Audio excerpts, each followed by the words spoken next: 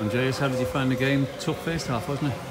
Uh, it was. I thought I knew it was going to be that way because um, coming in this week, I couldn't work on too much. Um, I knew the boys were going to react by being probably more um, proactive in, in, in, attack, but more um, play safe in defence. So we were a bit sluggish, and plus I think just didn't know what we were going to do in the roles.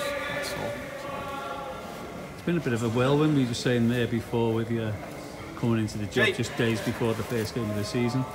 How's that affected you, and how how's it affected, more importantly, as opposed to players? I think myself, because I, I, was here for the last two years, it, it, felt comfortable coming in. I knew what I was coming into, so I know the the club how it's run.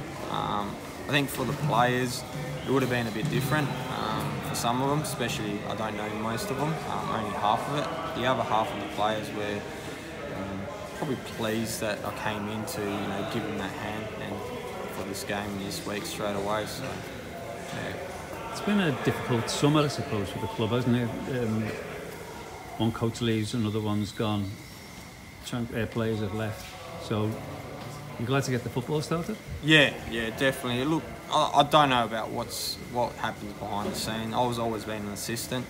Um, Andy couldn't do it the, the, following year, which is this year, so um, they had to act quickly and got Trim Morgans. Um, whether that didn't work out, that's another story. But I've come in and I'm happy to come in and help out as much as I can. So yeah, I'm happy with it. Happy with the result today too. So the players' performance.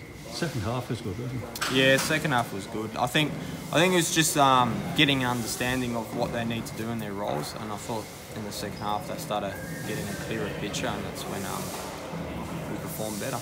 And stuff like that chance at the end of the first half, which might have put you back in again. Yeah, and that's what we said in the second half. We get one goal, you know, we're back in it. Um, disappointed that we didn't get a goal. I think the boys at least deserved that. So we can, but we've got a lot to work on, and we've got um, a good team to work with too. So I'm happy with everything.